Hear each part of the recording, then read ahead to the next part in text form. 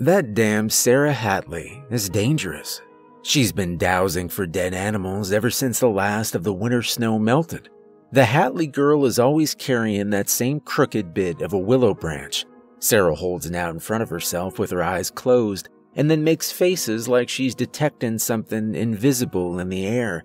She calls it her sensing stick. I've seen her digging things up, too. She's telling everyone who asks that she can make the little corpses feel better again. I'll admit that I've noticed a strange abundance of squirrels and blue jays in the parklands this year. Maybe that's just an eerie coincidence, though. The recent winter snowfall in Ashland was also irregularly heavy. Sometimes things are related, and sometimes they aren't. Speaking of things that might or might not be connected, Almost a dozen people went missing this winter. Not a single one of them has returned to Ashland or otherwise been found. The police are starting to think these incidents might all be related. In the papers, it's been theorized that a single unknown assailant might be living here in town. They've started calling this unknown person the Ashland Flayer. No official leads on a suspect yet, though.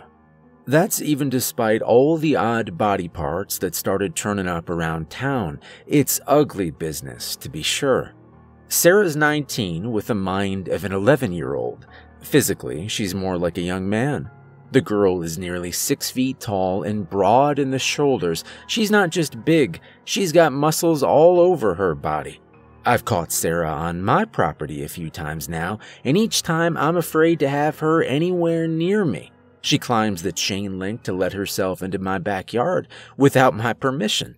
I've had to chase her off every time she's done it. Her dowsing rod keeps bringing her back. I don't keep pets, and I never did. I've told her that several times now, but she doesn't seem to believe me. Neighborhood kids have started saving up their lunch money and allowance to hire Sarah. They want her to bring back their dead pets. She's more than happy to accept all the pocket change and crumpled up bills they managed to bring her. Parents have started to worry, and I've decided to start being more vocal about my own concerns. It's felt good to share my anxiety with others in the community. There's no question that Sarah Hatley will keep stirring up trouble in Ashland. If she hasn't done so already, she'll soon go way too far. The kids have started sneaking out after night. Even stranger, there's stories about pets coming back. Parents shrug it off, mostly. Mundane explanations are quickly found because the only alternative is to believe Sarah's claims. It's not the same dog, they say. It's just that an oddly similar animal has wandered into town. Coincidences like that seem harmless enough at first. I've seen a few families chasing away animals, though, too. The father shouts and brandishes some makeshift weapon while standing in the driveway, and the mother waits nearby until the animal is out of sight. Usually, she's trying to convince her crying children that it wasn't their dog that's being chased off. It's hard to tell how much Sarah understands because she's developmentally delayed. She could be a killer. That's certainly true. It wouldn't take a wild stretch of imagination to think of her bludgeoning or stabbing a man to death. She's a remarkably strong girl. Sarah might easily fill the role of the Ashland Flayer. The only missing piece is a demon in her heart. In my opinion, that's what makes someone lash out to kill a stranger. When you look at a person from the outside, there's no way to tell whether the demon is there. I heard rustling outside my window last night and retrieved my gun before heading to investigate. I clicked on the porch light as I stepped outside. At the periphery of the illuminated area, I found Sarah Hatley creeping near the side of my house. She looked dazedly in my direction, and I leveled my rifle at her. You damn girl, I hissed loudly. You're trespassing. Maybe it took her eyes a moment to adjust to the flood of light that I'd brought outside with me. When she recognized the firearm that I carried, Sarah's face changed briefly into an expression of obvious anxiety. There's dead animals buried here, she stuttered out. Her face returned to tranquil blankness as I lowered my gun, but a trace of fear remained. That damn stupid dowsing rod of hers was still pointing in the direction of my house. The tip of the branch wavered gently in the air as Sarah's hands began to tremble. I could tell that she was still thinking about how she had risked getting shot. I don't keep any pets, I told her yet again. I never have. I shouldered my rifle as though I was ready to drive Sarah off my property by force. She made the same anxious face as before. I don't want to see you here ever again. I growled. Awful sorry, mister, she responded. But there's dead critters here that want healing. Looking crestfallen, she turned and started walking in the direction of her own house. I kept my gun at hand and the porch light on as I watched her leave. Sarah lifted herself over the chain link fencing at the border of my property and continued walking into the darkness until I could no longer see her. Maybe I overreacted, but could you really blame me? The local newspapers published another story about the Ashland Flayer this morning. The Flayer's been connected to another disappearance that happened in the late hours of New Year's Eve. The police claim that they are narrowing their list of suspects, but they haven't arrested anyone yet. That's got me feeling scared. The last thing I need now are random townsfolk skulking around on my property. If I let my guard down, then I'm risking my own neck. I suppose that's true for anyone, isn't it? One of the strange dogs that's supposed to have been healed by Sarah caused some serious trouble today. It went berserk and started biting the kid that paid Sarah to bring his old dog back. By the sound of it, the kid took some really nasty bites. He was basically mauled. Finally, the people of Ashland are starting to organize against that weirdo clan of Hatleys. The mother and father are just as odd as Sarah is. Maybe they're afraid of their own daughter. Could that be why they never speak up about her behavior? The boy that was mauled returned from the hospital today. He wore some fresh stitches in his neck, down near the collarbone where the teeth had gone in. He's claiming that it's his fault that the dog bit him. He says that Sarah didn't do anything wrong. Apparently, he did something that used to bother his dog before it died. He did it to test whether his new dog was really the same one he buried last summer. He says that he's certain now that the creature that bit his throat open can only be his old pet. That irrational fool of a boy says that he still loves his childhood pet. Some people from the town went out to confront the Hatleys last night. I was among them. Sarah's parents were shy and did not seem to take our anger seriously. They meekly defended their daughter. They proclaimed that their family was innocent on all counts. The father claimed instead that the evil happenings around Ashland must be coming from somewhere else. The Hatley mother even dared to whisper that there was something particularly strange about my own property. I spat in anger to hear it, and then I loudly called the whole family devil worshippers. I said it right into their faces and did not grant any of them a single batted eye of doubt or sympathy while their family denied it. The town was mostly on my side by the end of it. We decided by now that the Hatleys were no good. The police continued to provide no real answers about the disappearances that occurred over this past winter, it seems something of a nightly routine for many people in Ashland to carefully check their surroundings before bed. Some from the community like to watch their yards from behind the barely painted blinds that obscure their upstairs windows.